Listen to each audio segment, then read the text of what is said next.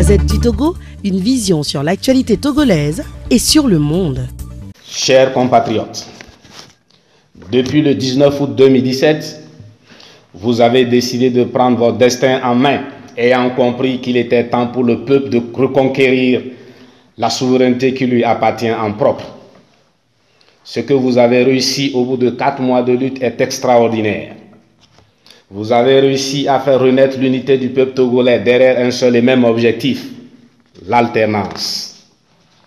Pour y parvenir, il a fallu briser le fameux cercle de la division de la famille Nyasingbe dont nous sommes restés pendant longtemps prisonniers. Vous avez réussi les mains nues à braver la peur malgré la brutalité crue en face.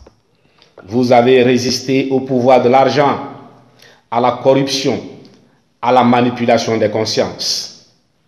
Et puis aujourd'hui, le piquet est en passe de se rendre à l'évidence de la communauté de destin avec le mouton.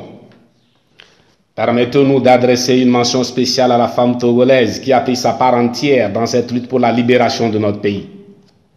La bravoure et la détermination qu'elle affiche nous rappellent son engagement dans la lutte pour l'indépendance de notre pays. Loin dans le temps, nous nous souvenons de ces femmes appelées à tort ou à raison Amazon du Dahomey. Plus loin, nous avons souvenance de la résistance héroïque de la reine Candace en Nubie antique, cette femme contemporaine de César Auguste. C'est votre histoire, femme africaine.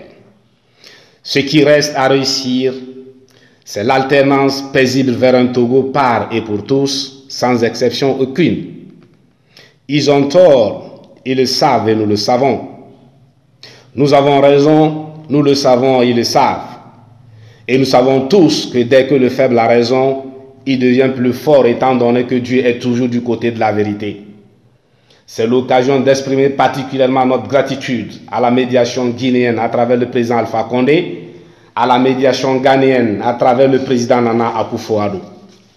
À l'endroit de la médiation, nous rappelons que le Togo, le peuple togolais, ne veut de la tête de personne. Il veut tout simplement vivre dans un état normal comme c'est le cas partout dans la sous-région. Par-dessus tout, c'est le Togo qui doit sortir gagnant de cette lutte.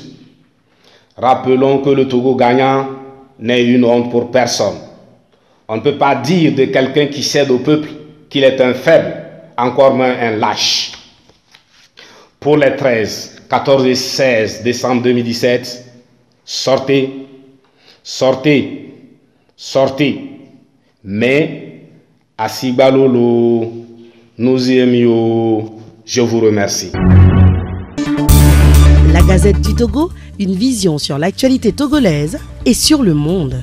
Rejoignez-nous sur le www.lagazettedutogo.com ou sur nos comptes Facebook, Twitter et YouTube. Pour tout contact, écrivez à contact@lagazettedutogo.com ou appelez le 92 80 88 53. La Gazette du Togo, c'est l'information en continu.